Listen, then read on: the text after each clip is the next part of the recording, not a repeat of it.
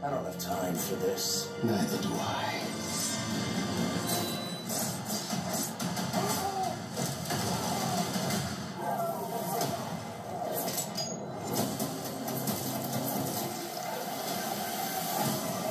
A level four naughty lister? Oh, is that funny to you?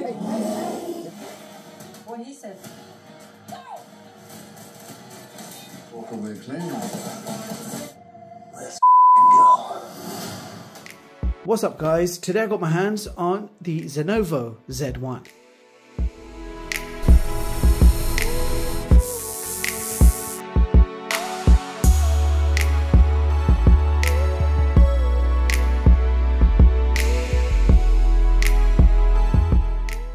So this is another affordable LED home cinema projector priced under 200 and it has some decent specifications and it's running full Android version 12. Now, first of all, inside the box, you will find a user manual.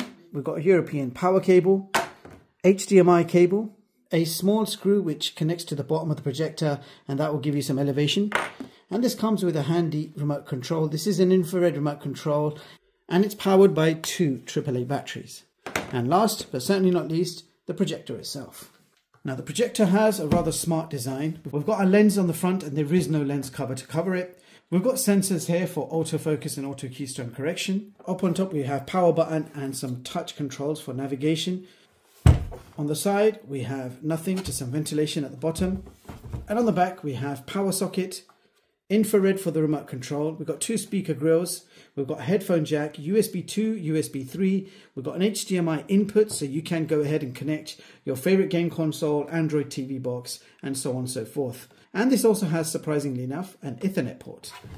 If we keep going, nothing on this side, just more vents. And that brings us back to the front. And here is a quick look at the bottom of the projector. So over here you can see a thread for that screw and that screw is simply for elevation. And in the center we've got another quarter inch thread and that is for a tripod or a universal mount. Alright, so let's just quickly run through the specs. So this is an LED video projector. Lamp life is 100,000 hours. Brightness is 800 ANSI lumens. Contrast ratio 20,000 to 1. This has a native Full HD resolution, that's 1920 by 1080. This does apparently support 4K decoding, which we will be testing later on. This projector is powered by the Cortex A55 2 GHz and we have the Mali G52 integrated graphics. It's running full Android 12 and you've got built-in Wi-Fi 6, Bluetooth 4.2 and a 100 megabyte LAN. The projector features autofocus and auto keystone correction and there are two 8 watt stereo speakers built in. And the maximum optimal projection size is 120 inches. Okay, so the projector is all set up and ready to go. And the first thing I like to do is test out that fan noise. So standing right next to the projector, you can expect a fan noise of around 47 decibels. And if I move back one meter, the fan noise drops down to around 40 decibels. Now the projector is situated three meters away from the wall in front of us and we're projecting just over 120 inches. So this is the home screen. It is based on Android 12 it's got their own custom skin on top and it gives you shortcuts at the top for Netflix, Disney Plus, Prime Video, YouTube, HBO Max. Then you have an app store, you've got My Apps, and then you've got projector settings, under which you've got keystone adjustment and wallpapers.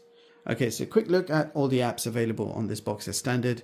So these are all your apps. You've got the Google Play Store, you've got a third-party Play Store, File Manager, Prime Video, YouTube, Netflix, Disney, Miracast, and iOS Cast. So these are all the apps installed as standard. So the first thing we're going to test is USB flash drives. So now we're going to play some 4K video samples from a USB drive and we're going to start off with the usual high bitrate jellyfish demo and we're going to see if this can play back on this projector. Okay, so you can see it's gone all fuzzy at the top. It's trying to play back, but it can't. So I just paused it and I press play again. Yeah, it's not happening. High bitrate jellyfish demo is not happening on this projector. So next few clips we're testing is 4K 60 with HDR. Let's see if it works. So as you guys can see, it's not working. It's not playing back 4K 60. Um, I think the problem might be that this projector does not support HDR. Okay, the second clip is an HDR10 file. Audio is working, but video is not working. So 4K 60 not happening. Now we're going to test out 4K 30 and see if it can render. Okay, 4K 30 is working. Alright, so that's good news. Alright, so 4K 30 appears to work fine. I'll try another 4K 30 file.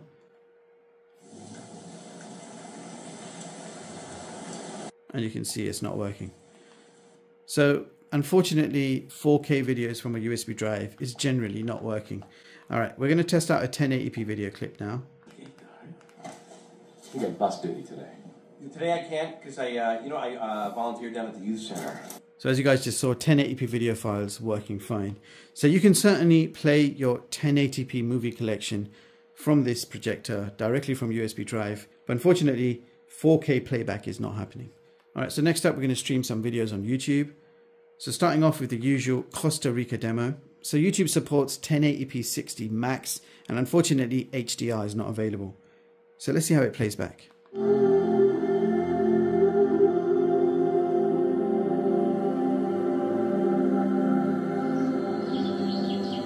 Paused it on the lizard as I usually do.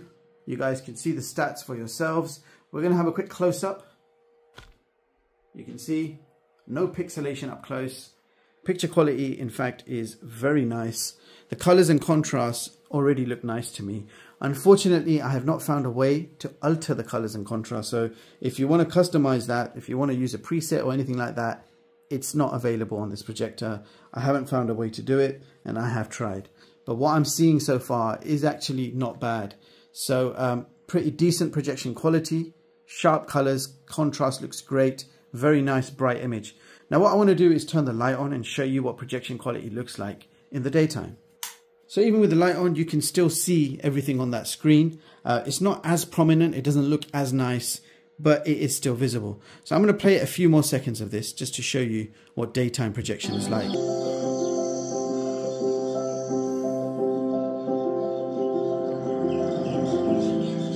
So that was a taste of daytime projection. Now, if you really want to enjoy your projector, you want to switch that light off. And you can see the difference for yourself. All right, so let's go ahead and play a few more trailers and see what this thing can do. You know the butcher? The freaking nut job that goes around chopping people up? The feds heard that he's gonna be here today. Crew's been compromised. You want to be treated You dare faced me. Oh, shit, my sneaker. Really hit the target there. How's it look? Good. Maybe I can bring my son back up here. I'm running for him. Catalytic converters. They need platinum. Come again.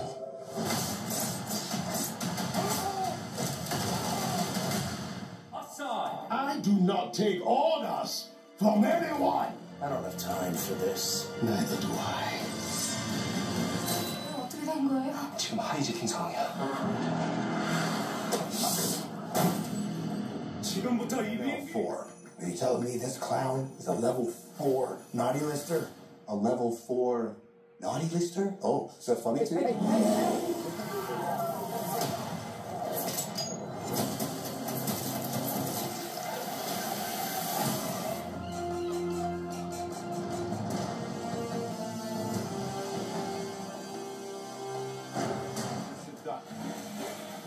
What he said. Reflex. Still bad. The killer's game, Joseph. You walk away clean, or you go out on your back.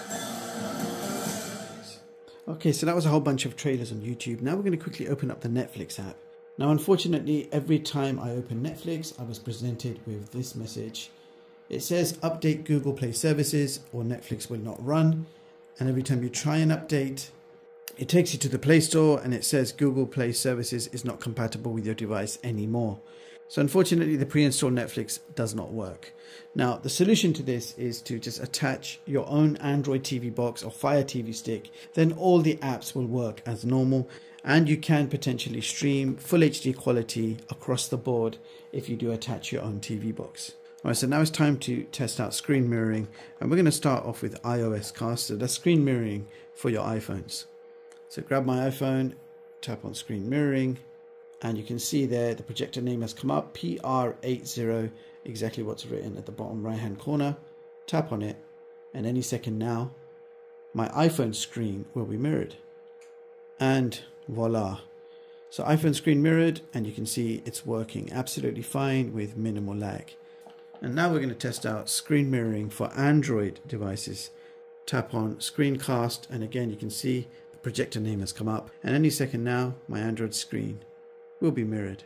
So it took a few moments to connect but once connected you can see screen mirroring working absolutely fine with no issues. So happy to say screen mirroring working absolutely fine on both Android and iOS devices. Alright so now it's time to switch to HDMI and I've just connected up my PlayStation 5.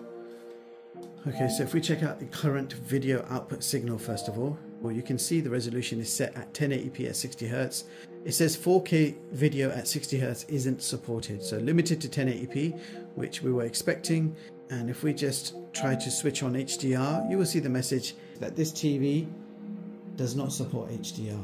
PlayStation 5 connected, 1080p 60 is the maximum resolution supported, and there is no HDR.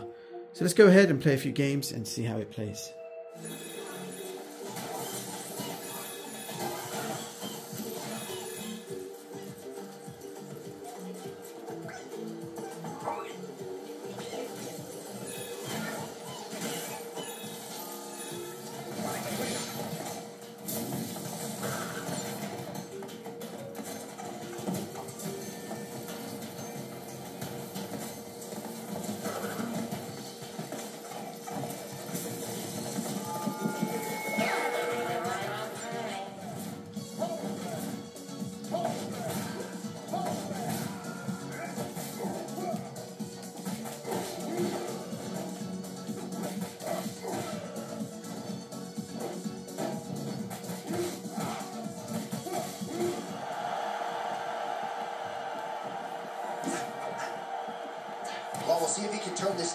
Offense, but he's doing a great job blocking shots.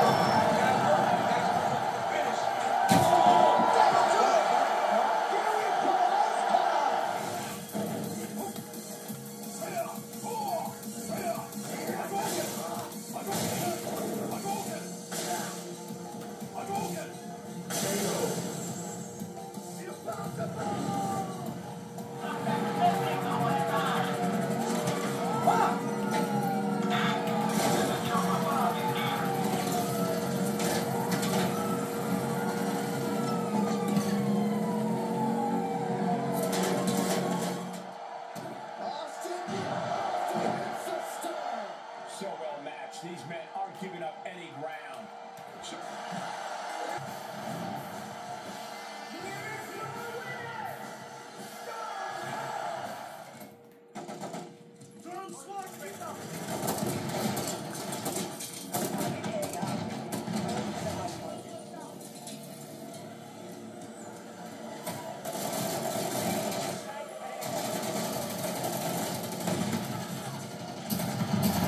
Let's quickly check out the main system settings.